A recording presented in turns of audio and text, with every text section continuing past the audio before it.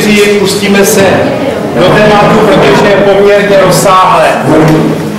Petr, se, Petr Věťák, jsem předseda spolku pro komořany a připravil jsem pro vás takové školení, kdo, kdy, kde a jak může zasahovat do územního plánování a územního řízení. Dneska budeme mít šest bodů. V prvním bodě, co je územní plánování, abychom si ujasnili, potom kdo do toho může zasahovat, kdy do toho může zasahovat, kde do toho může zasahovat, jak do něj může zasahovat a nakonec, jak vůbec se dozvěděl o tom, že se něco děje v okolí. To územní plánování je hierarchicky postavené. Na vrchu je politika územního rozvoje, pod ní tu zpracovává Ministerstvo životního prostředí a schvaluje vláda. Pod ním jsou zásady územního rozvoje, ty se zpracovávají na úrovni kraje, hned k tomu řeknu ještě víc. Potom je územní plán, ten se zpracovává na území obce, v našem případě hlavního města Prahy. Případně to může být regulační plán, který ještě upřesní například výšky, eh, jak se vysoko může stavět a tak podobně. A potom je to územní řízení, případně stavební řízení. Přičemž tuto část ovlivňuje samozpráva, to znamená volené orgány. Tu spodní část to řeší stavební úřad, což je státní zpráva. Hned k tomu řeknu víc. Takže politika územního rozvoje, to na vrchu pyramidy vytváří Ministerstvo pro místní rozvoj, tak to jsem řekl špatně, jsem říkal Ministerstvo životního prostředí, tak je to Ministerstvo pro místní rozvoj a schvaluje vláda každé čtyři roky. Dělá se to jako koncepce rozvoje celé České republiky. Vymezují se tam hlavní dopravní stavby a dopravní infrastruktura. A tady toho se může zúčastnit každý občan z České republiky zase ve vyhražených časech když se dělá veřejné projednávání, tak tam je okýnko, kdy můžou občané zasílat svoje připomínky, případně námitky. V té hierarchii na, druhé, na druhém stupni jsou zásady územního rozvoje. Ty se zpracovávají pro celou Prahu a schvaluje to krajské zastupitelstvo na území kraje. V těch zásadách jsou stanoveny priority územního plánování pro zajištění udržitelného rozvoje území. Jsou tam obecné zásady územního rozvoje a jsou tam, je, jsou tam vymezení nadmístních rozvojových oblastí. Nadmístních pro vás znamená to, že e, se bere v úvahu i okolí třeba středočeského kraje. E, a případně návaznosti i na ostatní části Prahy. A toto se taky aktualizuje každé čtyři roky. To znamená, jednou za čtyři roky se to vytvoří a za čtyři roky se to obnovuje a vždycky tam je okýnko, kdy občané, kdy je veřejné projednávání a občané mají možnost to připomínkovat a prostřednictvím zastupitelů eh, to ovlivňovat při schvalování, protože to schvaluje pražské zastupitelstvo magistrátní. Vytáhl jsem z toho, z těch zásad územního eh, rozvoje, to, co platí pro komořany. Tam jsou dva body a Prvním bodem je vytvořit podmínky pro rozvoj druhů dopravy šetrných životního prostředí. To znamená, že na základě toho se připravuje například tramvaj. Kdybychom to v, tom, v těch zásadách neměli, tak eh, by s tramvají mohla být potíž. A v bodě 10 je zvyšovat podíl zeleně a spojovat ji do uceleného systému. Je tam přímo eh, stanoveno Kouřanské polesí, je přímo citováno na straně 66, lesní komplex je vtroušenými bez, vtroušený bezlesí a převažující hodnou druhovou skladbou, který pokračuje i mimo Prahu. To znamená, tady v zásadách se mluví o tom, že by se to mělo rozšiřovat, zvyšovat, ale přitom v územním plánu zastupitelé proti tomu a ořezávají. Přičemž územní plán je podřízeným dokumentem zásadám územního plánování. To znamená, my máme možnost se odvolávat na to, že jdou právě proti smyslu zásad. A teď jsme překročili už do té třetí úrovně a to je územní plán. Územní plán se řeší pro obec, zásady jsou pro kraj, ale u nás to splývá v Praze, protože územní, zásady územního rozvoje jsou pro území hlavního města Prahy a územní plán taky. Nicméně zásady jsou nadřazený dokumentem. A územní plán, ten řeší funkční využití, uspořádání už jednotlivých ploch. Eh, v, to, v těch zásadách jsou jenom obecné proklamace, jak by to mělo být. A územní plán už řeší jednotlivé plochy a ty řeší s přesností čár na jeden milimetr. Tam byla taky diskuze o tom, jestli například ta nová komořanská, jestli se s ní může hýbnout nebo ne. A protože tam je měřítko 1 ku 500, tak z toho vyplývalo, že se táhnou maximálně plus minus půl metru. Teď zrovna se schvalují změny územního plánu eh, té textové části a tam je to zpřesněno, že pokud se jedná o liniové stavby, tak se vychází z měřítka 1 k 10 tisícům, to znamená, že u liniových staveb se může s tou stavbou pohnout plus minus o 10 metrů. Což v našem případě se nám může případně hodit. Územní plán má dvě části. Má část grafickou, tady vidíte komořany a ty barvičky eh, s těmi písmenky, která tam jsou, označují využití toho území, co se tam smí a co se tam nesmí stavět, jak se to může využívat.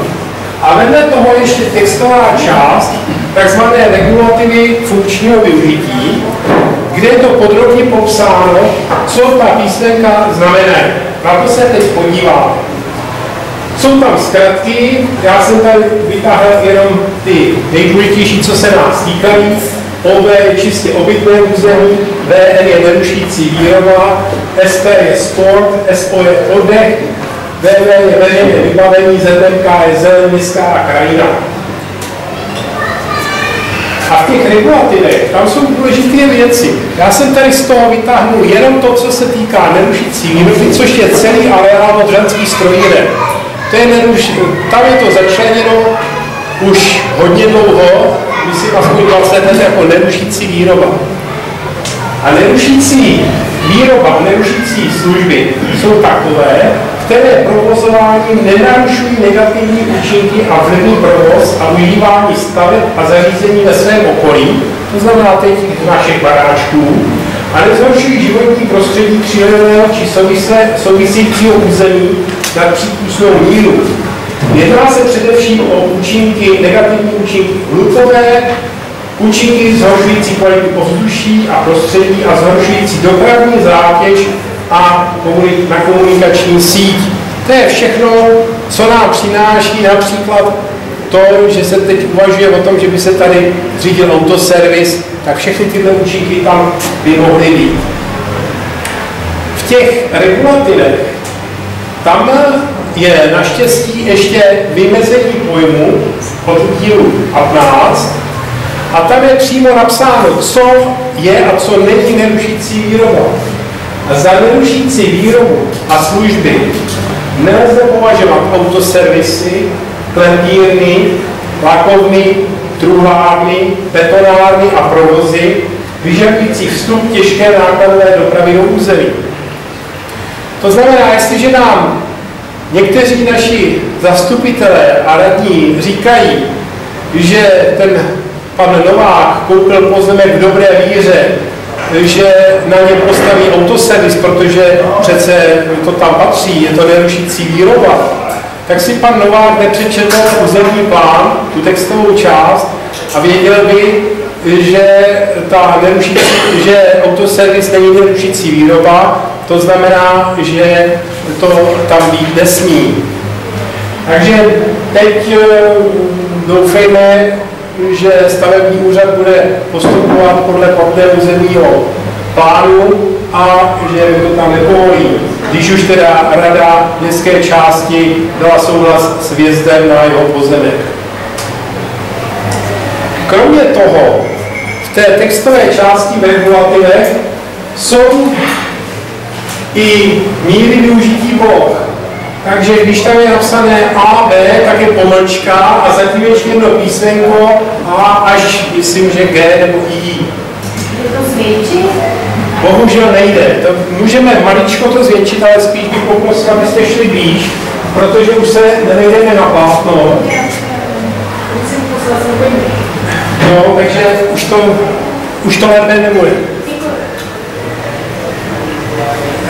A ten kód využití plochy ABC znamená to,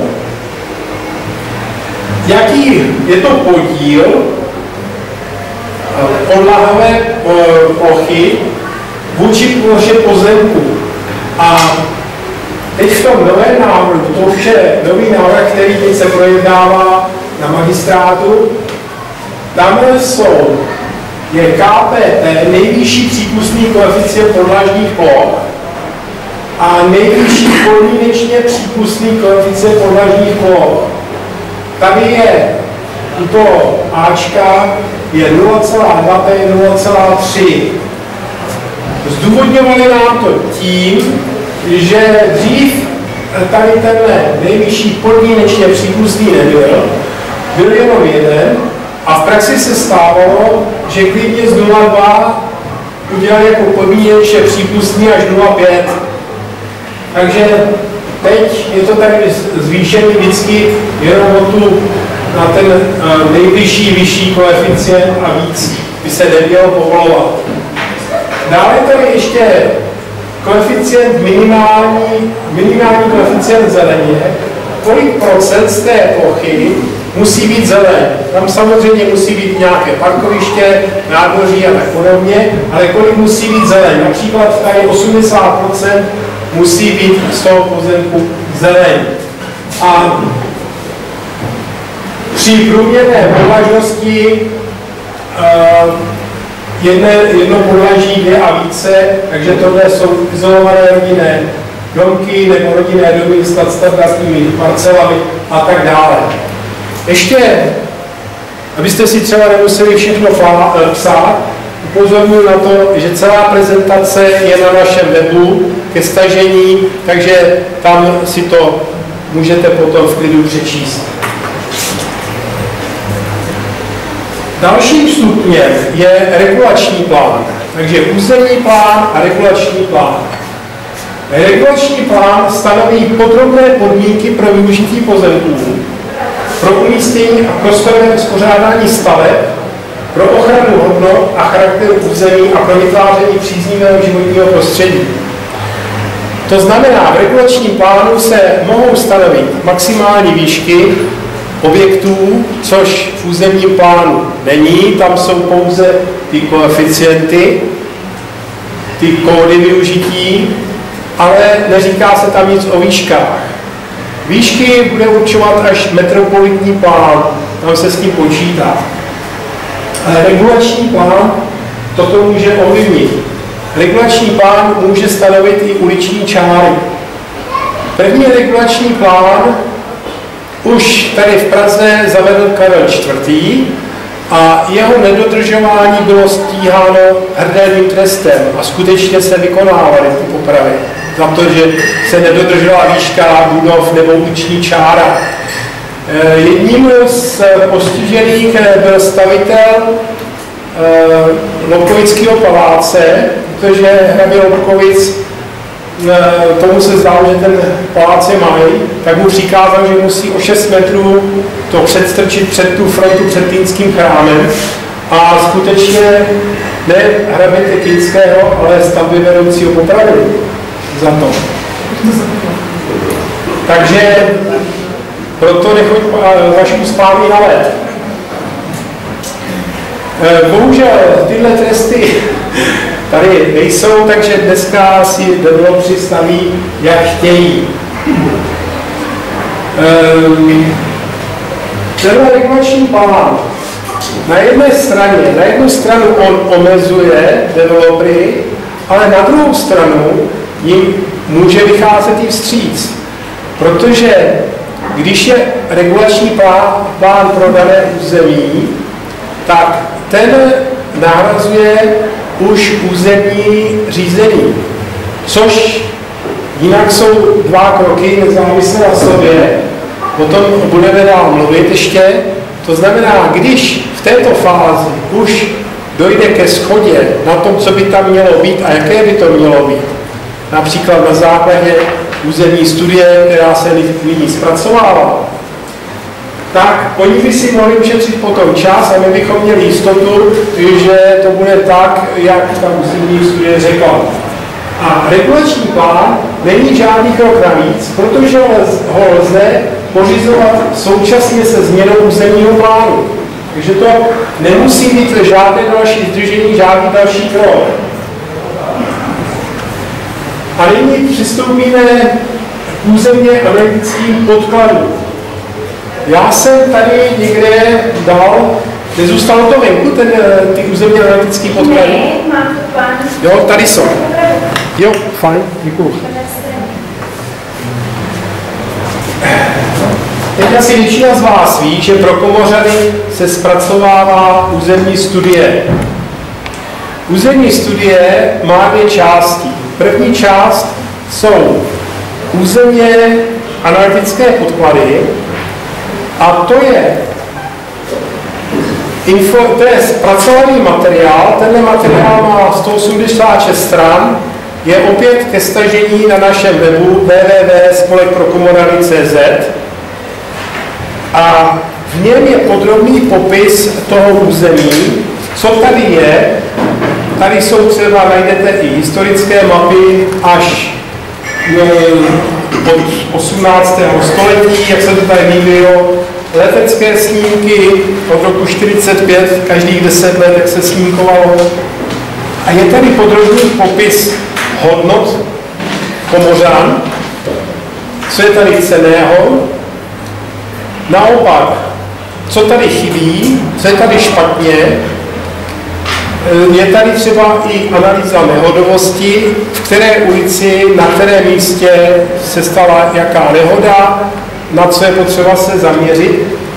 Pak je tady demografická analýza, ehm, je tady srovnání třeba se zbytkem Prahy, jak jsme na tom se školstvím a komořany tady jsou jeden z pěti červených fleků v Praze jako nejhůře nejhorší vybavenost, jedna z pěti nejhorších oblastí v Praze z hlediska vybaveností školama. Takže to je podklad, který, který, ten, eh, který architekti připravili a z něj potom zpracovávají to, co by tady mohlo nebo mělo být, a to je územní studie. To znamená, ta říká, co se stane, když já doufám, že to zpracují ve variantách a ta územní studie na ní se pracuje a ta nám bude představena 27. června v tanečním klubu Amicia, to je ta kostka tamhle za tím, za panelákem. Prosím? Ano. Takže 27. června od 18 hodin bude ta veřejný workshop už to bude druhý veřejný workshop, první byl tady a ten sloužil k přípravě těch analytických podkladů a teď by nám měli předložit koncept té studie, který bychom mohli občané připomínkovat a potom přes prázdniny by naše připomínky měly zapracovat do konečné fáze studie, která by se měla odevzdávat začátkem září. A potom ještě bude třetí veřejné setkání, eh, kde nám budou ty výsledky prezentovány. Takže my jsme teď se pohybovali v té horní části trojuhelníka té pyramidy, eh, která spadá do kompetence volených orgánů samozprávy. A nyní jsme se přesunuli už na územní řízení a to je to je to, když stavebník chce něco stavět, tak musí zažádat nejprve o územní rozhodnutí. A to spadá do územního řízení, je rozhodnutí o umístění stavby a stavební úřad jako orgán státní zprávy rozhoduje o umístění navrhovanou stavbu, stanoví její druh a účel a podmínky pro její umístění a musí se řídit stavebním zákonem a musí proskoumat, jestli ten záměr je v souladu s požadavky tohoto zákona a prováděcích právních předpisů. Dále musí zkontrolovat, jestli je tam odpovídající veřejná dopravní technická infrastruktura, a jestli je tam soulad s územně plánovací dokumentací, to znamená s územním plánem, se, zásady, se zásadami územního rozvoje. Ta politika se nás tak tady v Komoravě netýká. Ale často ani tyto body v těch územních řízeních nebývají řádně prověřeny.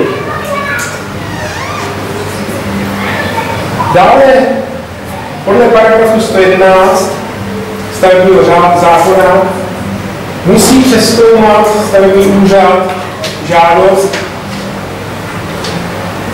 z toho pohledu, jestli je projektová dokumentace udělaná v souladu s územním rozhodnutím nebo regulačním plánem.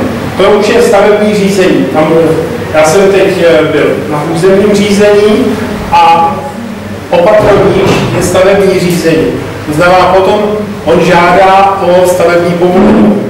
Takže v tom stavebním řízení on zase přeskoumává, jestli to je v souladu s tím územním rozhodnutím, které vydali,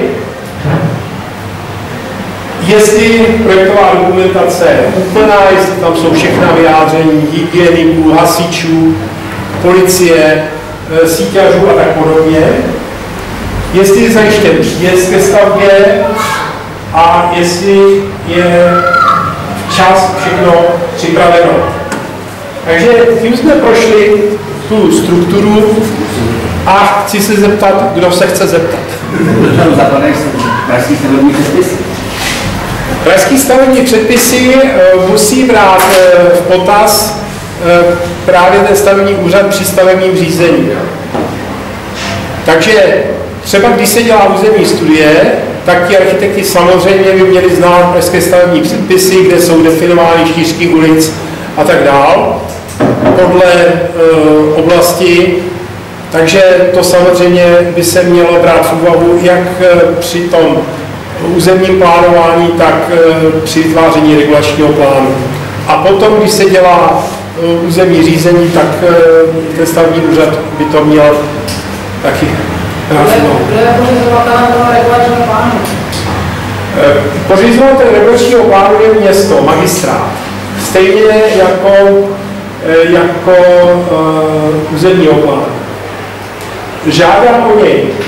Může žádat buď to developer, stavebník, prostřednictvím městské části, žádá na magistrát, k tomu se teď hned dostaneme, jaký je ten průběh. Ano? kde se dá najít ta politika a ty zásady toho územního rozvoje? Ty jsou normálně na internetu, když tam dáte do Google zásady územního rozvoje Praha, tak eh, Já bych chtěla ještě i jiný, já bych chtěla je- jeho český. to se tam můžete Takže podívat. to, to, to zadá Kraje to tam mají. český Ano. kraj, takže na kraji. Ano. to. Já Ano. jak eh, v Praze, jak velký jsou ty úseky, jako komořany mají vlastní a potom mají nějakou komořany. Víte, jak to na Praze 4? Eh, Na územní plánování? No, no, no. Ne.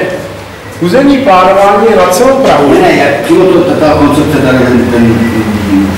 ty analytické podklady, ty jsou eh, zpracovány jenom na komoře. A sice eh, v rámci, to nám zpracovává ta architektonická kancelář a to je ten první krok. Ne, ne, ne, musí se o to požádat. Nám to trvalo zhruba tři roky to protlačit přes zastupitele, že zastupitelstvo to schválilo a tím eh, požádali magistrát a magis- magistrát vypsal výběrové řízení na zpracovatele a magistrát to platí. Takže pro informaci stojí to asi 1,3 čtvrtě milionu, eh, eh, ale to už běží, takže jsme zhruba v polovině. A jak, jakou tu část můžete ohraničit, nebo to je, víte? My jsme to ohraničili eh, tady eh, tím potokem ze severu na srážku. A- Ale technicky, jako je, jestli to může být jakákoliv věc, jak velká nebo jak malá část. No, říkali nám, že toto je poměrně veliký území na zpracování už. Jo, jo, jo. No. Kdo to může provokovat? Prosím? Kdo, to, kdo do toho může vlíct mezi tím? Jakože lobbysti, jak se dá pracovat? No, samozřejmě, k tomu se hned dostaneme. Komu se dostane? K tomu se dostaneme. Pardon. Ale Co nemusí schvalovat stavební úřady, eh, to už je jiná otázka, je to přesně popsané ve stavebním zákonu. Jo? Na co stačí jenom ohláška a na co je potřeba mít stavební povolení a na co je potom potřeba mít územní eh, rozhodnutí. Takže stavební úřad si vzít a tam to je přesně jedno za druhým. Takže to si vyžádal spolek. Vyslovený spolek tady má ano. možnost, nějaký občanský udružení má teda možnost o tohleto obec To požádat. může požádat jednotlivec občan. Může i od občan požádat obec a ta obec Může, musí když vyhovět. nemusí vyhovět, to záleží na tom, jak, jak zastupitelstvo eh, to vyhodnotí. A tady se podařilo napříč všema politickými stranama, že jsme před tím 1,5 rokem, před dvěma lety, dostali podporu všech stran, který to podpořili, takže nikdo nebyl proti a tím pádem se to mohlo rozjet.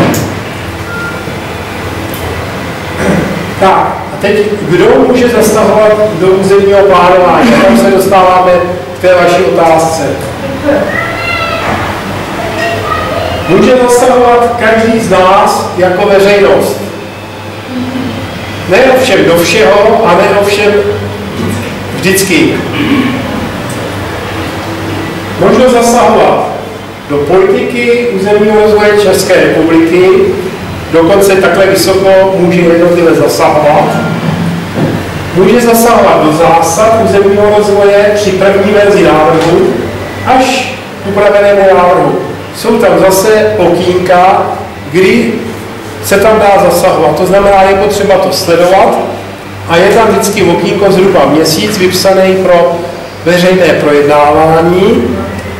Celé zásady jsou vyvěšeny na webu a tam může jednotlivec občan posílat zhruba, myslím, tam je 14 dní po, té, po tom vyvěšení, může posílat své připomínky.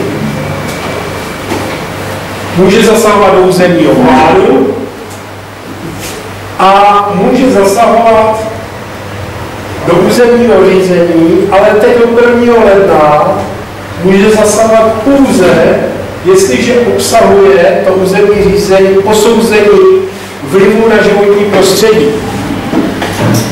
V zákoně jsou zase definovány kritéria, podle kterých se pro některé stavby musí dělat vyhodnocení vlivu na životní prostředí. Ale developři už s tím umí pracovat, to znamená, oni zase salámovou metodou, že mají v úmyslu tady zastavět území, Ale protože to území už je v kategorii, kdyby se muselo dělat vyhodnocování na životní prostředí, tak oni do té žádosti nedají celý ten komplex staveb, ale dají jenom jednu stavbu, což je případ tady byli, kdo tam tady jenom byl, ale věděli jsme, že už mají v plánu tam stavět další budovu vedle, ale ty dvě budovy už by přesáhly tu by museli na vyhodnocování na vliv životního prostředí, takže to tam schválně nedali. Protože jestliže tam je posuzování vlivu na životní prostředí, tak občan má kdokoliv možnost to připomínkovat. Kromě toho jsou tam účastníci územního řízení. Samozřejmě účastníkem je vlastník pozemku nebo stavby, na kterých má být požadovaný záměr uskutečněn. To znamená, že developerovi třeba ještě ta louka nepatří, ale on si uzavře smlouvu e, s majitelem, že mu umožní na tom pozemku stavět, ale podle tohohle paragrafu stavce A musí být ten vlastník pozemku účastníkem řízení. Dále jsou to osoby, jejichž vlastnické nebo jiné věcné právo sousedním stavbám nebo sousedním pozemkům nebo stavbám na nich může být územním rozhodnutím přímo dotčeno. Takže sousedé. O tom, kdo to je soused, si řekneme za chvilku. Dříve, do konce loňského roku, tam mohly být i osoby, o kterých tak stanoví zvláštní právní předpis. Což byly například spolky, které měly ve svých stanovách ochranu krajiny a životního prostředí, jako například spolek pro Pohořany.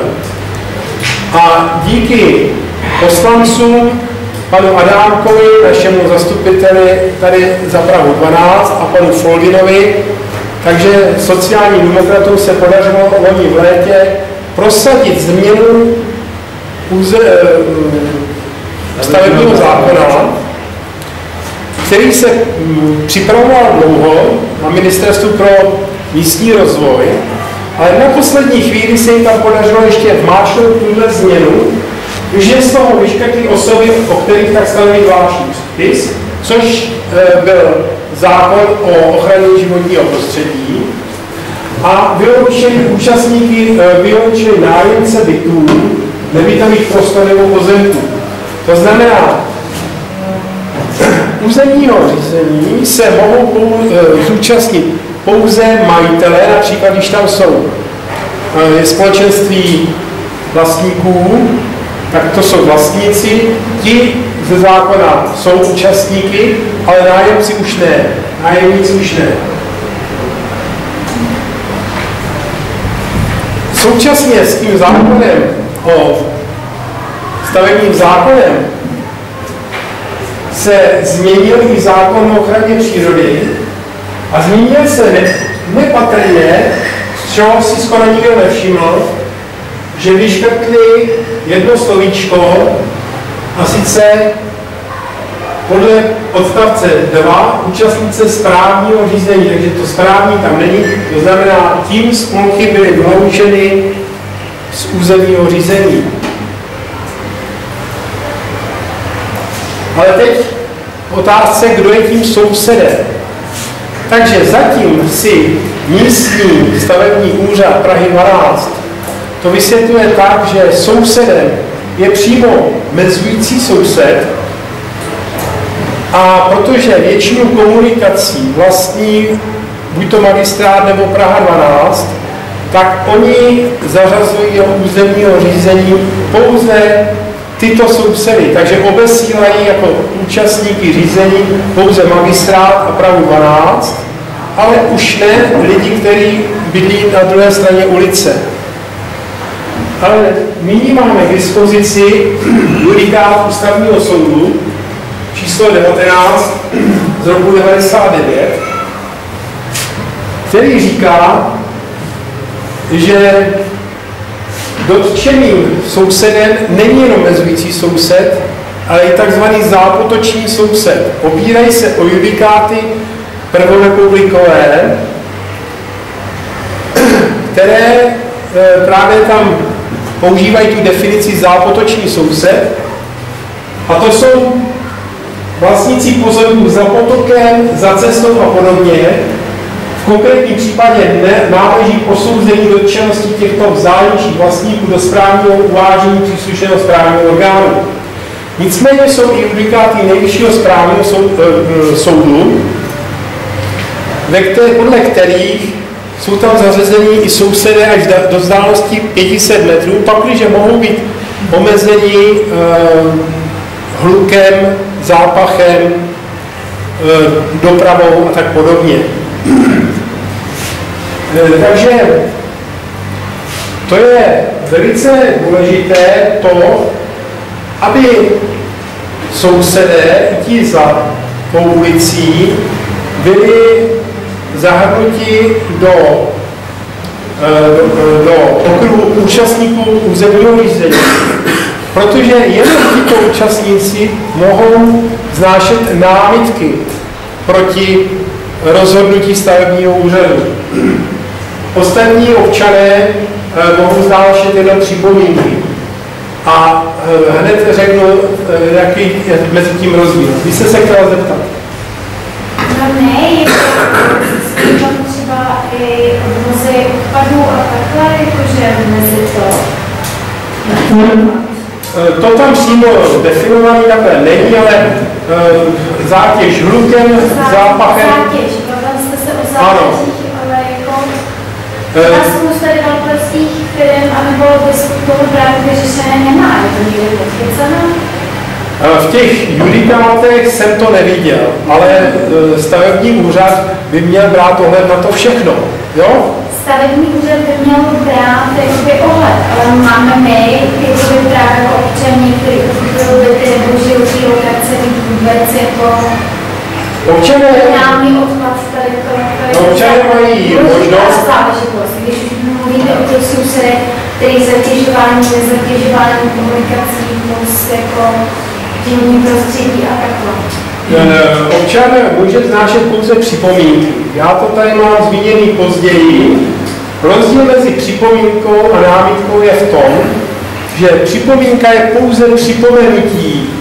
Nezapomeňte při vašem rozhodování na to, že by mělo být něco. Ale připomínka se nijak nevypořádává a není proti ní odvolání. Takže připomínku může poslat jakýkoliv občan, ale námitku, to je vyšší stupeň, může právě zaslat pouze účastník úředního řízení, což je například ten dotčený soused. Takže se opět vracíme k tomu, o čem jste mluvil úplně na začátku, že se musí komunikovat jako v rámci nějakého celku. Tak. A jinak se nedostaneme právě v nikam. Tak. A ta námitka, ta už musí být takzvaně vypořádána, musí tomu namítajícímu napsat zdůvodnění, proč ji neberou v úvahu a namítající má právo se zaprvé odvolat k vyššímu orgánu, což je magistrát, a případně, že není spokojen ani s, tou, s tím stanoviskem magistrátu, tak může podat žalobu správně. Takže Eh, ale e, ono to funguje. My jsme už to jednou vyzkoušeli, zafungovalo to celkem rychle. Ano. Takže prosím, tak. Já můžu zeptat, ale to se týká jako tím územního řízení, když se dává na územního plánu, tak jak to se dá ovlivnit? Hned se k tomu dostaneme, to budeme probíhat podrobně. To dobře v rámci, když teda územní plán něco jako Hned se pos, v další kapitole se pustíme přímo do toho územního plánování. Vítko? ke stavu předchozích škol, předchozích stránkách, jaká je praxe v Komořanech, jsou sousedí informováni? Nejsou. K tomu se dostaneme, jaká je, jaká je praxe a, a bohužel, co se musí dělat. Tak a teď další kapitola, kdy může občan zasahovat.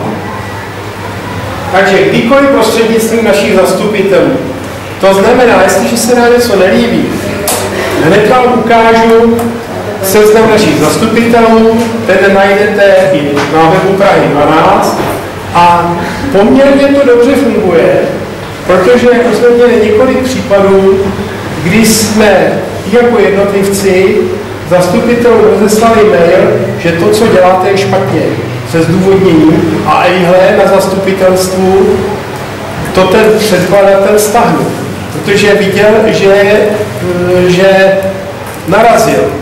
Takže není to tak, jako že nemáme možnost. Takže máme možnost poukazovat na to, že něco je špatně. Takže kdykoliv prostřednictvím zastupitelů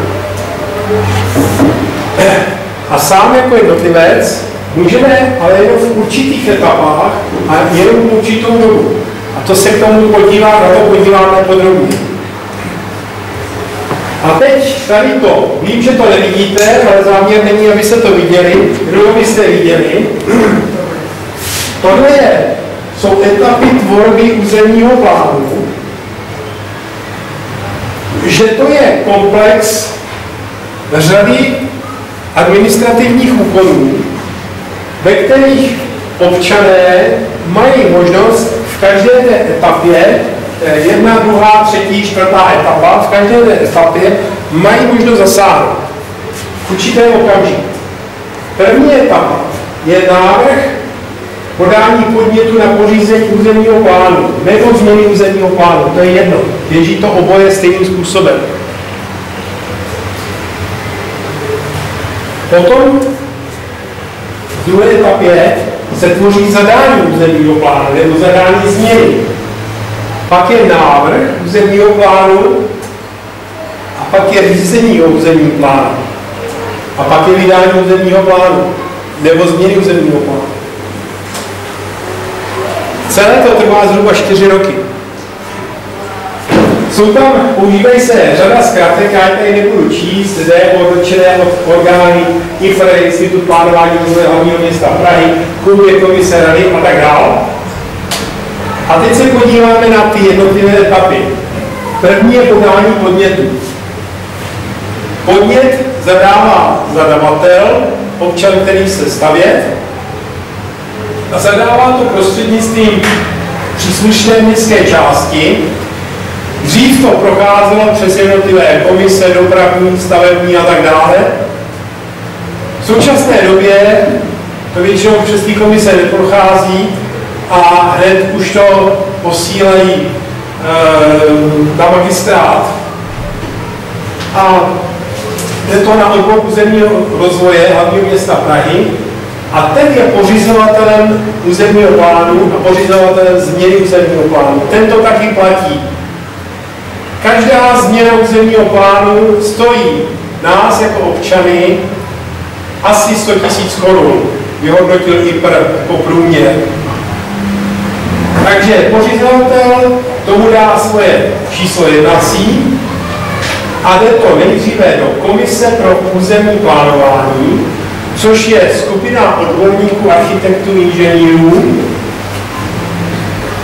A po projednání to jde do výboru pro, uh, územního rozvoje a města Prahy, což je politický orgán.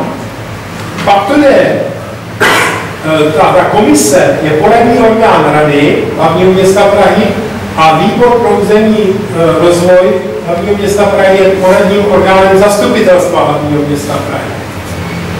A tam, když se to všechno schválí, tak eh, potom to pokračuje do dalšího kola. Ještě tady vstupuje z boku IPRE, magistrát hlavního města Prahy a dotčené orgány, co jsou zase hygienici, hasiči, dopraváci, eh, policie a tak dále. Ti ještě posoudí tady pořizovatel, jestli to je kompletní nebo nekompletní, jestli to je nekompletní, tak eh, se to skončí a jde to všechno do začátku když to je kompletní a projde to těmi komisemi, tak to pokračuje dál. A tady jsem vyznačil, kde mají občané právo možnost zasáhnout.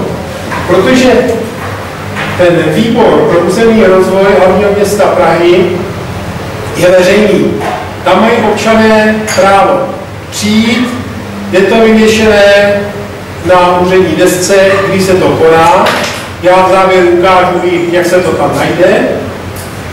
Tam má každý možnost k danému bodu vystoupit, říct své námitky a má možnost se pokusit přesvědčit ty politiky o tom, že by měli změnit svůj názor.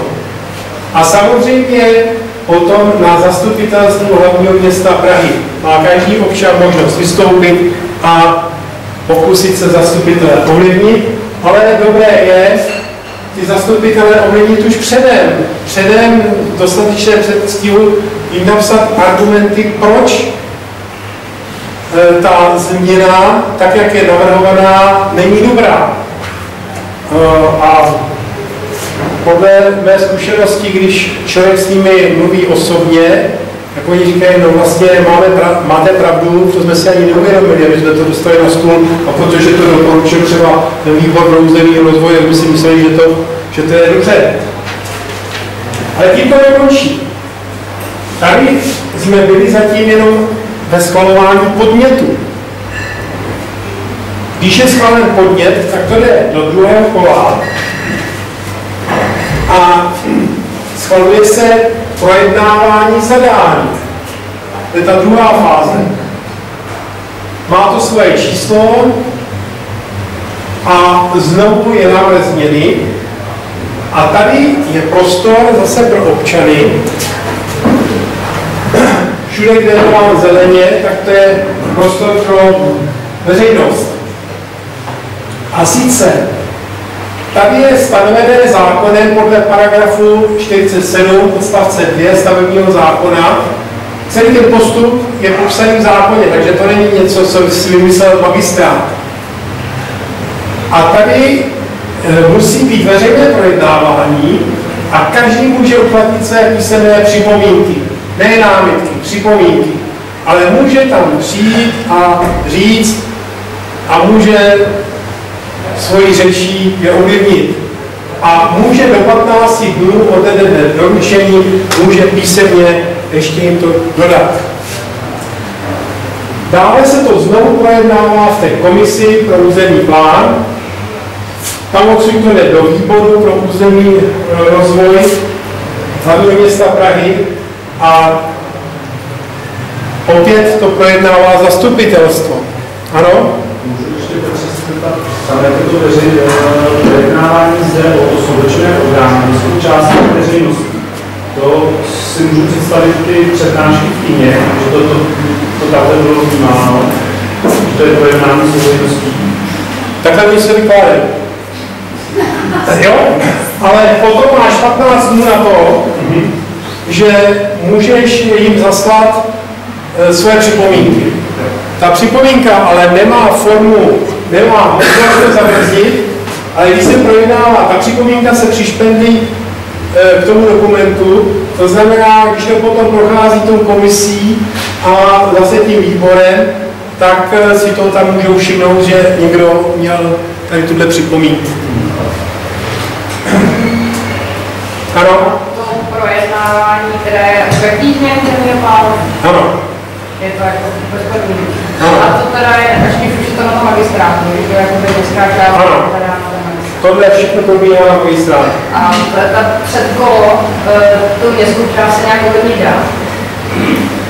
Než No. na ten magistrát. E, No dá prostřednictvím zastupitelů, aby zastupitelé, Asi se to jako jo? Tak.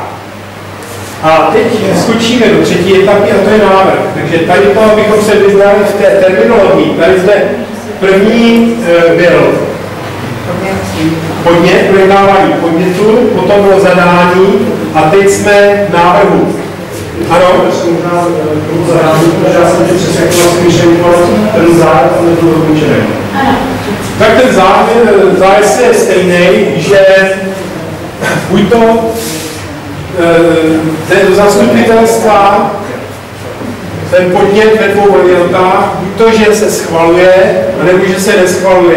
Když se neschvaluje, tak tím to vypadá ze hry, když to se schvaluje, tak to pokračuje dál.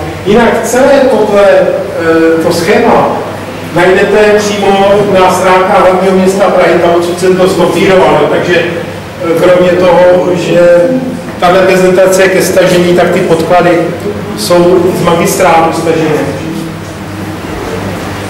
Takže jsme v tom návrhu a tam je to zase to samé.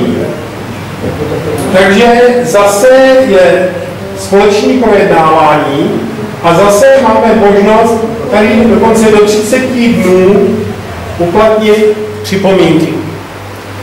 Takže jedna z územního plánu vlastně prochází tím magistrátním kolečkem třikrát.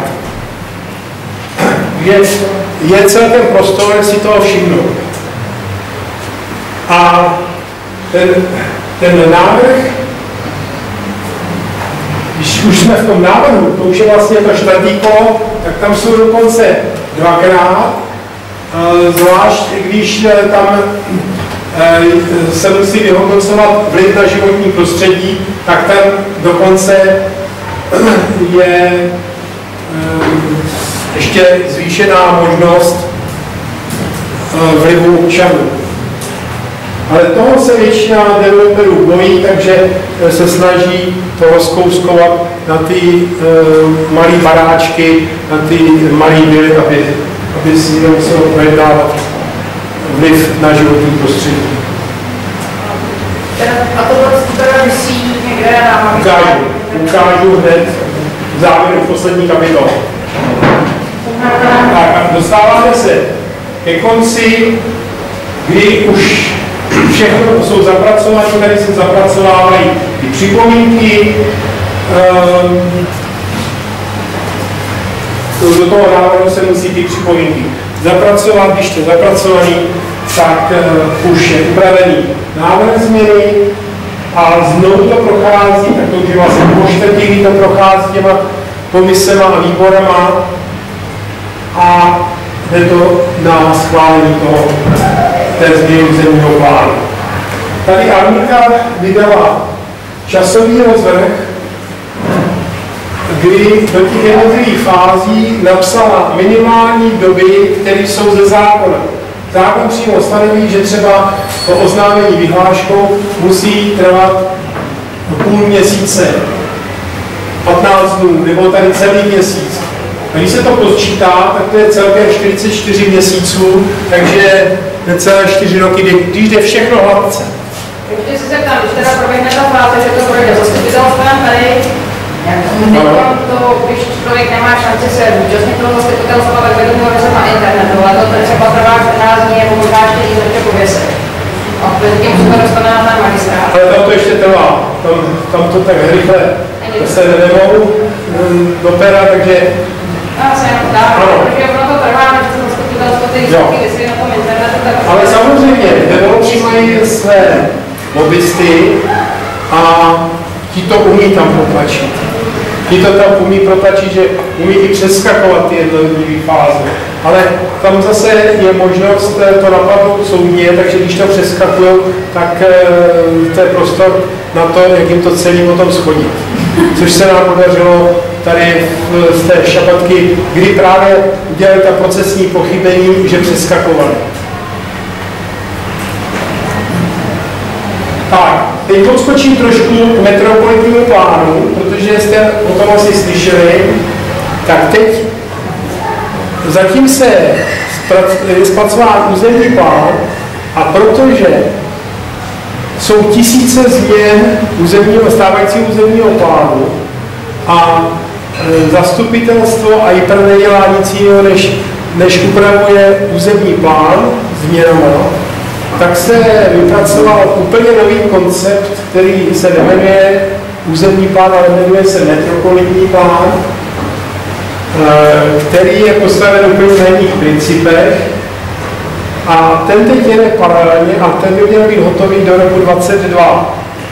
A teď je prostor pro občany, už je vystaven na internetu nebo v kampu, což je v Emauzích, tam má možnost každý občan každý pracovní den a teď od června v červnu to bude dokonce i přes víkend otevřeno i večer, má možnost se s tím seznámit. Jsou tam i eh, odborníci, kteří dávají k tomu výklad. A teď je vystaven do 27.6. a potom je měsíc na připomínky. Ty připomínky je potřeba dávat písemně eh, a buď to je dát do podatelny IPRu v těch emouzích, anebo poslat poštou, doporučení. Eh, nestačí mailem, tam musí být, eh, mají na to formuláře, na ty připomínky, takže stáhnout si z internetu formulář, ten vyplnit a předat jim ho, abyste měli potvrzení, že jste eh, to předali. Tady je odkaz na to, kde ten metropolitní plán se dá stáhnout. Takže v první řadě, když si stáhnete tuto prezentaci ze stránek spolku, tak budete mít odkaz na metropolitní plán. A jak už jsem říkal, tak připomínky může, můžeme dávat do 27. To je metropolitní plán na celou Prahu, ale na tom internetu už by mělo fungovat, mělo fungovat filtrování, takže tam e, můžete vyfiltrovat oblasti Prahu 12 i Komořany, menší oblast, takže nebe, není třeba se probírat celým tím velkým souborem, ale můžeme si tu oblast zmenšit a připomínkovat jenom to, co nás trápí. A kde můžeme zasahovat? Takže v první řadě bychom měli dát najevo náš názor našim radním. Takže tady jsem skopíroval pro informaci naše radní na Praze 12, starosta Milan Maruštík, místo starostové a Marhol, Adámek, pan Jurka, paní Adámková a paní Nedralová na dopravu. Takže jestliže se nám něco nelíbí, tak bychom jim to měli říct nebo poslat mail, aby věděli, že když nikdo nic neříká, tak oni si myslí, že to dělají správně. Potom samozřejmě zastupitele. Na stránkách Prahy 12 najdete seznam zastupitelů, jejich telefonních čísel a jejich e-mailových adres. Takže doporučuji, jestliže máte něco na srdci, tak jim všem poslat třeba hromadný mail se zdůvodněním. Nemá cenu jim zalcovat něčím, jenom výkřikama, že se něco nelíbí, ale zdůvodnit, proč se mi to nelíbí. A dát jim prostor, aby zvážili, jestli to stanovisko je hodnotný nebo není.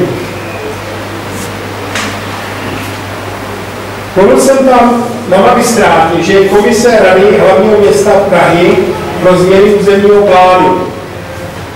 To je komise odborníků a ta, ta zasedání jsou neveřejná. Podle zkušeností, které jsme zatím udělali za posledního půl roku, co to sledujeme, tak ta komise funguje nezávisle a její rozhodnutí jsou rozumná. Na rozdíl od výboru pro územní rozvoj, no tady jsou i, e, i kapacity, třeba architektka Schindlerová, která je v pracovní skupině na tvorbu územní studie, zadání územní studie pro Komořany, pracuje pro Prahu 12, e, jsou tady docent inženýr, architekt Ivo Oberstein a lidi, kteří tomu skutečně rozumí. Takže tady nemám obavu, že by šli proti zásadám územního rozvoje, ale ti mají zájem na tom, aby to nějaký řád mělo. Něco jiného všem je výbor pro územní rozvoj a územní plán a to je politický orgán. Tady vidíte, tady jsou zase zastoupeny jednotlivé strany a například minulý měsíc se projednávala nová změna zase šabatky, protože opět centrálu tlačí na to, aby mohli stavět. Takže přestože soud dal spolku pro komořany za pravdu, vyhráli jsme jak uh, na městském soudu, spor vůči magistrátu a centrálu tak uh, oni se odvolali kasační stížností u nejvyššího správního soudu, i tam jsme to vyhráli. Takže v lednu jsme dostali vyrozumění, že spolek má pravdu. Nicméně v únoru oni už začali pracovat, lobbysté, a ovlivnili tady tyto strany, takže za nás se postavili jenom tito dva pánové při hlasování a to hlasování včetně, eh, včetně průběhu, výtah z toho zápisu z hlasování eh, je na našich stránkách v aktualitách, můžete si to přečíst. Takže tyto dva pánové se nás zastali, ti ostatní nás hodili přes palubu. Takže vidíte, proto je potřeba tlačit přes zastupitele, protože zastupitelé vybírají ze svého středu členy těchto, tohoto výboru. Takže aby zastupitelé věděli, co lidé chtějí, co nechtějí. A tady je zase na stránkách magistrátních je seznam zastupitelů všech, jsou to čtyři stránky, já jsem tady uh, udělal výřez pouze první stránky, ale když to rozkliknete, tak tam máte i telefonní čísla, jsou tady e-mailové adresy, lze jim napsat a uh, lobovat náš občanský prospěch. Mluvil jsem tady už o tom rozdílu, co je připomínka, co je námitka. Takže připomínka je jde pouze o konzultativní účast veřejnosti, že jim radíme, nezapomeňte na to. Ale jen se určitě způsobem vypořádá ale tím to končí. Námitka tu mohou podávat dotčení sousedé, jak už jsem říkal, ale znovu opakuju, protože to je důležitý, anebo zástupce veřejnosti. A o se musí rozhodnout správný orgán a lze se proti rozhodnutí bránit. Takže to nám, že zástupce veřejnosti musí schromáždit 200 podpisů? To je na další straně. E, zástupce veřejnosti dostaneme se k tomu.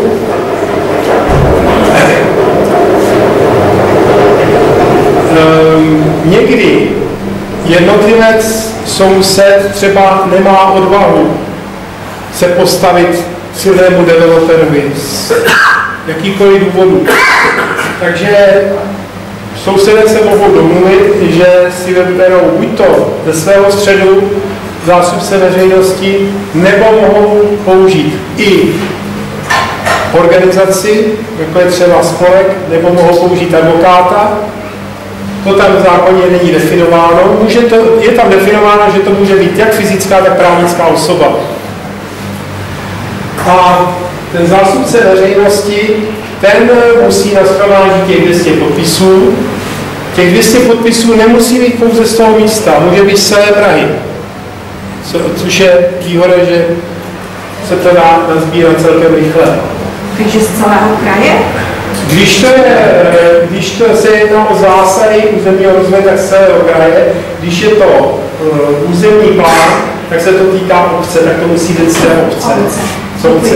Ale protože jsme v Praze, takže územní plán se projednává na magistrátu, proto říkám, že z celé Prahy můžeme nazbírat podpisy. Ale na podání námitky je pouze 7 pracovních dnů. To znamená, ta námitka musí být napsaná konkrétně proti konkrétnímu bodu, takže nelze si připravit dopředu nějaký bělko námitky s podpisama, ale tam na každé straně musí být, kterého bodu se ta námitka týká a pod e, tím textem musí být ty podpisy. A to musí být na každé té straně zvlášť e, takhle uvedeno. Takže na to je potom 7 dnů za, je potřeba to hlídat, sledovat a potom je fofre, během týdne se to musí podat.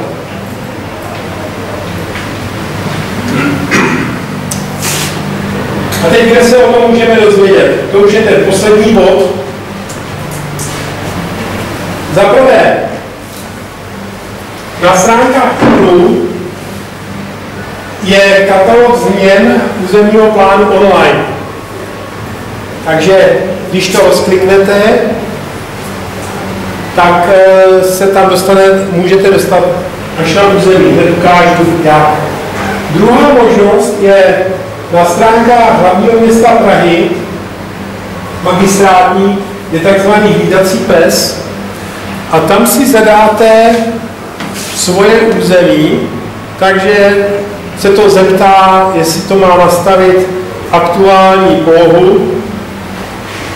Takže když odkliknu, že ano, takže mě to tam dá moje bydliště a zadefinuji si, jak veliký okruh chci sledovat. Že když tam dám 2 kilometry, tak to obkrouží tady Mořany a automaticky dostávám e-mailem zprávu, když se objeví nějaká návrh změny územního plánu, tak dostanu informaci mailem, že teda se něco děje s mapkou, kde se to děje. Bohužel zatím to není tak, že bych tam dostal všechny informace, takže pak musím pátrat dál. Jak jsem tam mluvil, že tam jsou v těch jednotlivých fázích i veřejná projednávání, tak to je něco jiného, to je zvlášť, to je potřeba se dívat na úřední desku hlavního města Prahy a tam naštěstí jsou filtry, takže tady si najdu, ve filtru si vyberu z těch asi 50 možností, že to má být veřejná vyhláška a čeho se má týkat. Takže odbor územního rozvoje. A tady se mě rozvalí, jaké změny jsou e, se, jsou, e, visí na té úřední desce, které se týká, týkají změn v územní plánu. A když to rozkliknu, tak potom se objeví ještě další filtr a tady můžu vyfiltrovat městskou část, takže si dám Prahu 12 a tohle jsou teď aktuální změny na Praze 12 a tady dokonce je katastr, takže povořeny modřany. A tady třeba jsem našel, že změna ze 3143 je pořizovaná změna vybudování obytné zástavby v lokalitě bývalé teplárny tady v Komořanech dole. Takže potom je potřeba vzít tohle číslo a jet za tím číslem dál. A když ho rozkliknu, tak tady je červeně vyznačená ta oblast, které se ta změna týká. Tady ještě eh, u některých bývá i takový graf historie změny, v jaké fázi se ta změna nachází, jestli jsme v té první, druhé, třetí, čtvrté etapě, abychom věděli, eh, jaké jsou ještě šance ovlivnit. Takže když už jste ve čtvrté etapě, tak ty šance už jsou minimální. To už třikrát projelo, nikdo nic nepřipomínkoval, teď v závěrečním finiši najednou to nikdo chce blokovat. Na těch veřejných vyhláškách ta veřejná vyhláška je zase spousta čtení, ale je tam odkaz na podkladové materiály k tomu, když se to rozklikne, tak eh, se dostáváme zase na číslo změny. Bez toho čísla změny se člověk nehne. To je klíč potom k tomu, aby, abychom eh, zjistili vůbec, co se tam podává, v jaké fázi to je.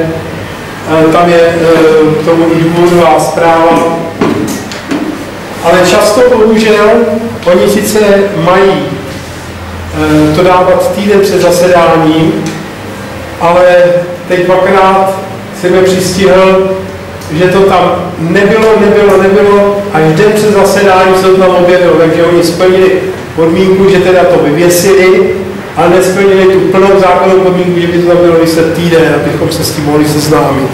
Červený tisk. jako černý tisk. No, A může se proti tomu člověk nějak opravit? E, Jo, takže interpelovali, takže jsme interpelovali na zastupitelstvu hlavního města Prahy a e, že například nešli podklady stáhnout, takže e, paní mm, primátorka Krnáčová zavolala šéfa IT a, a ten mě vysvětlil, že mám asi starý počítač, že jinak to, že, to, že to jde, jo? Právě přes za, zasedání zastupitelstva se musí hlasovat o změnách, o každé změně. To znamená, že tam se dá ty programové části tu změnu. Aby se zdůvodní, že to je Prosím tě, To se zdůvodní, že to narychlo vložený tisk, že se s tím nestačila seznámit eh, celá skupina zastupitelů a veřejnost, může hlasováním zastupitelstvo tisk vyřadit. Děkuji za připomínku, to jsem nevěděl, tak to můžeme využít, když to znovu To se takhle... teď stalo před eh, teď Jo? že se řada tisků vyřadila. No. Jo? Prima.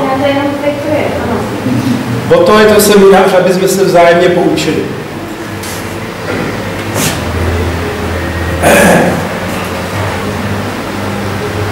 Teď je taková praxe, že ty změny územního plánu se dělají v takzvaných balících. Takže je to balík třeba změny 07 a tam je třeba 300, 500 změn z celé Prahy poskládaný. Ten balík změn je vždycky v jedné fázi té etapy a to se prodává najednou. A někteří zastupitelé třeba chtějí, aby se hlasovalo o jednotlivých změnách, aby bylo možno to projednat. Většinou je ostatní převálcují, že tam nechtějí být dlouho a že to schvaluje všechno en bloc. Takže mm, kdo není připraven dopředu, že chce vystoupit k konkrétní změně číslo T a T, tak nemá šanci. No a je potřeba dopředu to nastudovat, vědět, kterou změnu chci připomínkovat a nejdéle 15 minut před zahájením projednávání daného bodu je potřeba dát písemnou žádost eh, na ten sekretariát, že chci vystoupit k danému bodu a potom mě nechají vystoupit. Můžu to ještě? Ano. Ta písemná žádost, ale to ta probíhá ten den Tam. Normálně do 15 minut před projednáváním toho bodu, to je třeba v 6, v 8 večer, tak e, vím, že už to jde na řadu, tak musím napsat ten jejich formulář, podepsat, aby tam bylo hlavně číslo bodu, e, který se projednává a e, hlavní moje námitka. Ano.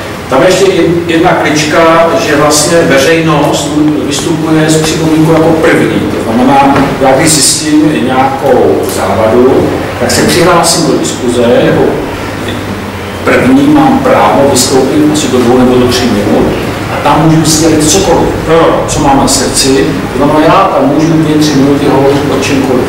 To znamená, zjistím nějakou nepravost, tak si dám písemnou žádost o vystoupení a občané můžou vystoupit jako první a budu tam sdělit, Ano. Občané mají dvě možnosti. Buď to vystoupit k projednávanému bodu, jak jsem říkal, 15 minut předem dát tu žádost, anebo v eh, interpelacích, eh, kdy je bod, většinou to bývá od 17 hodin, je hodina vyhražená pro interpelace občanů a tam občan se může zeptat nebo připomínkovat cokoliv. Nejenom to, co se má projednávat. Takže je možné využít oba ty prostory a občan má k dispozici tři minuty. Zastupitel pět minut. A poslanec, který tam přijde, nemá omezenou dobu. Jenom ale chtěla říct, že to zní jako bezvadně, že ten občan může přihlásit do diskuze a opravdu jako něco říct zásadního, eh, co prostě známe ledy a prostě eh, všichni se chytnou za hlavu a řeknou, wow, to jsme nevěděli a teď my to celý změníme a bohužel to podle mě v praxi takhle není, protože oni jak mají ty politické kluby, těch stran, za kterou tam, který tam sedějí.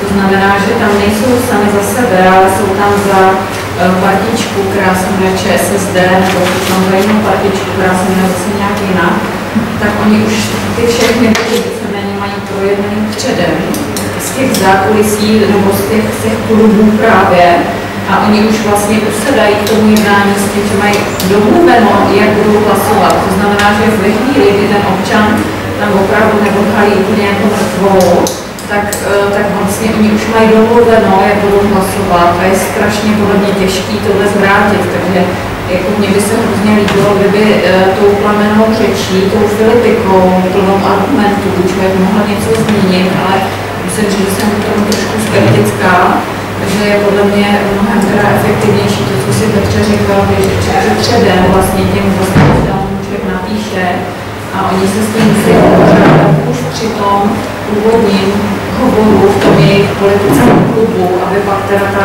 strana hlasovala jakoby kompaktně, nebo aby se prostě domluvili, aby někdo na jednu nekoukal, tak se hlasovali na tom tak. Hmm. Tak to je jenom můj poznatek, že... Naprosto v pořádku poznámka, protože když vezmeme graf, tady časovou osu, jednotlivé etapy, etapa jedna, projednávání až, až závěr a možnost ovlivnění, tak na začátku máme jako občané poměrně velkou možnost to ovlivňovat a postupně to sice klesá, e, to klesá a vždycky skokově, jo, to není, že by to bylo ideální, ale jakmile to projedná, už třeba ta komise nebo výbor, tak to klesne podstatně. A když už to je v tom závěru, tak už prakticky nemá cenu tratit čas tím, že tam budu někoho přesvědčovat. No, já jsem tohle optimista, já mám za sebou projednávání Libenského mostu. Libenský most eh, měl být zbourán, byla dohoda eh, vyloučit koalici, dohodla se Topka, ODS, ano, mělo to být vyhlášeno, občani se zepěli, den předtím prohlásili, že budou na zastupitelstvo obhájit Libenský most, že tam přijdou 17 hodin, poměrně masivní množství. Poslední zoufalý krok byl, že se navrhlo, aby se o Libenském mostě hlasovalo 9 nebo 10 hodin nebo dopoledne. A ta nevole byla tak obrovská, že e, vlastně jeden ze zastupitelů prohlásil, že tam bude číst román až do 17 hodin poslanec, dokud jeho občaní nepřijdou. Zastupitelstvo skončilo.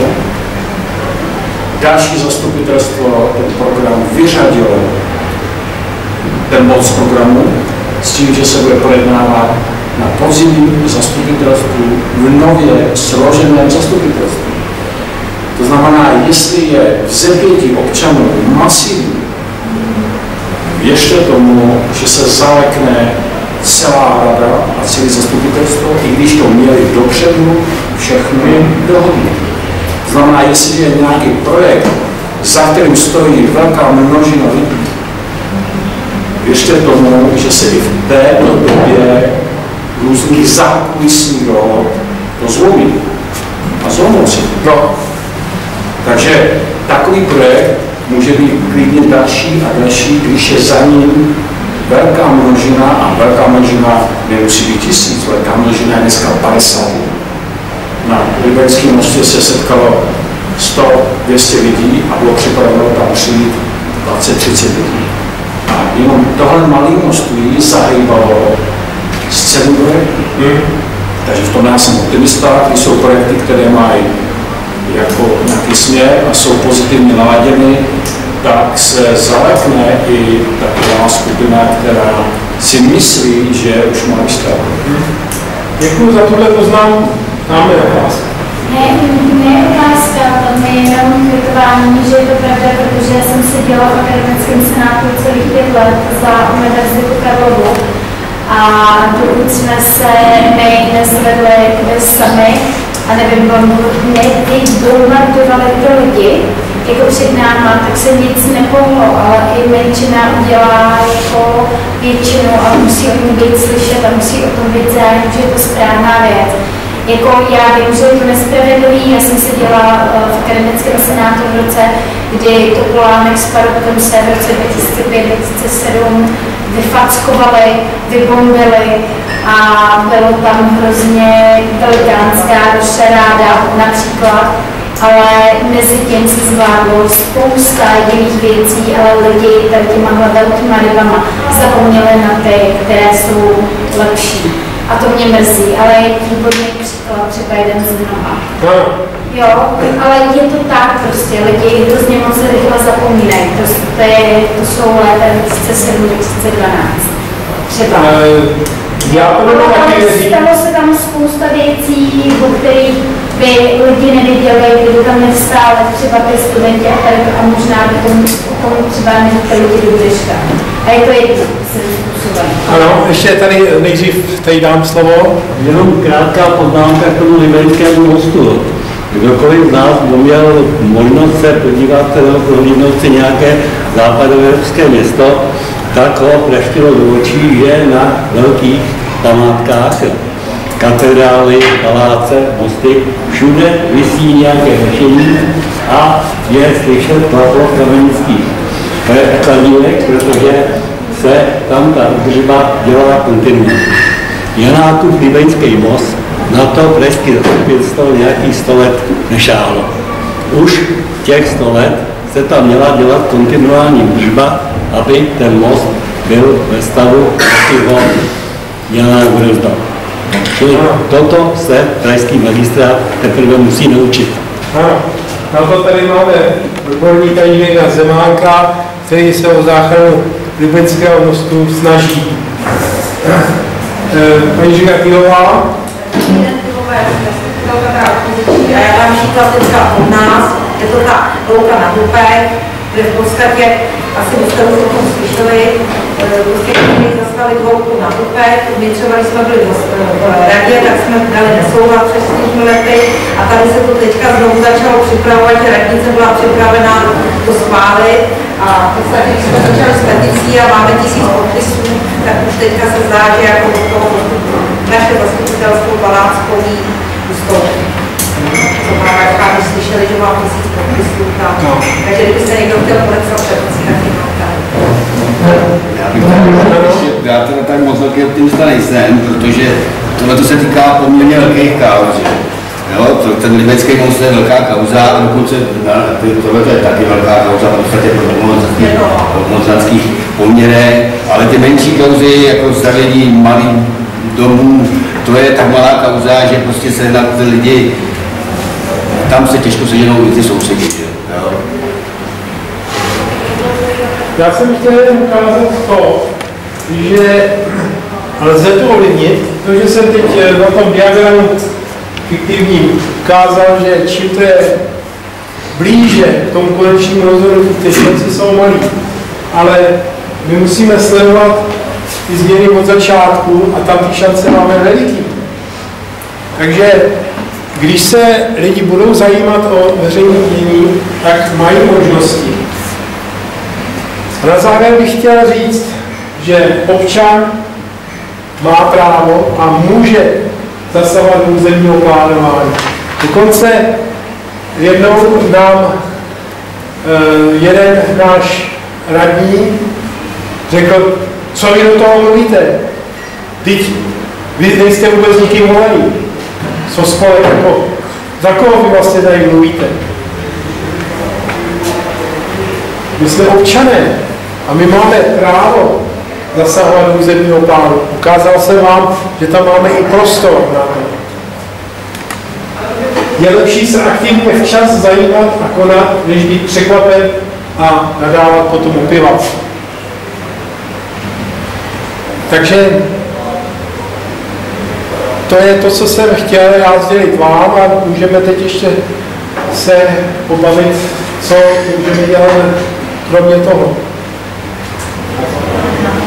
Ano. No, já mám ještě k tomu, to je teda ten, ten soused je a opravdu ta praxe současná, jak se říkal stavebního odboru, je podivná, protože už před deseti lety zhruba vyhrálo to pís- eh, papírníková, že jsou účastníci řízení, že jsou dotčení, když tam stavěl centrálu a mezi nimi je taky silnice. No, takže ta praxe, a tehdy to tady rozhodli taky, že nejsou dotčení a magistrát, jo, to SPA se odvolalo a magistrát rozhodl, že dotčení jsou. Jo. Takže jestli zase posun zpátky, tak to úplně absolutně. Eh, My jako spolek máme právo být informováni podle zákona o životním prostředí, ochraně životního prostředí a krajiny. Na to, aby nám zasílal stavební úřad informace o zahajovaných územních řízení. Takže jsme opět letos požádali, odpověděli nám, že se změnou stavebního zákona toto právo nemáme, odkazovali se na odstavec 3 toho paragrafu 70, tak jsme jim odpověděli slušně, že my jsme ale nežádali podle odstavce 3, ale podle odstavce 2, který nebyl změněn a proto e, bychom chtěli, aby nám informace posílali. Zápětí nám přišla od jejich právníka opět e, odpověď, e, že nemáme nárok podle odstavce 3 paragrafu 70, takže náš právník nám naformuloval stížnost, kterou jsme minulý týden podávali na městskou část, že vlastně e, nejednají podle zákona, ale tady evidentně jim se jedná o čas, že vědí, že na vyřízení naší stížnosti mají 60 dnů a poté my máme možnost se odvolat na magistrát, tam mají dalších 60 dnů, to už jsou 4 měsíce, kdy dostali prostor a teprve potom my máme právo podat žalobu a oni si klidně vyčekají tu žalobu, protože tím získají rok, kdy můžou schvalovat územní rozhodnutí bez toho, aniž by sousedé do toho viděli, protože to byla ta otázka, jak se o tom sousedé mohou dozvědět. A sousedé dneska podle nového stavebního zákona se mohou dozvědět jenom prostě spolků, eh, které na základě eh, zákona o ochraně krajiny a životního prostředí mají podle toho odstavce 2 právo být informování. Ale ten stavební úřad, ten jede, ano? No, že ale je tam No. neexistuje vlastně. Takže- Tady celý tady ten moment ten úzus informace nebo to jádro věcí. Ano, takže my teď, to je eh, smazané, to nefunguje. My teď to chceme dotáhnout až do formy, do fáze žaloby, aby teda soud jim přikázal, že teda informovat musí. Ehm, Tady stavební úřad se odkazoval na to, že oni mají metodický pokyn z magistrátu, jak mají psát ty odpovědi, což je úplná mimověžka, my se ptáme na něco a, a oni odpovídají něco jiného. Ano,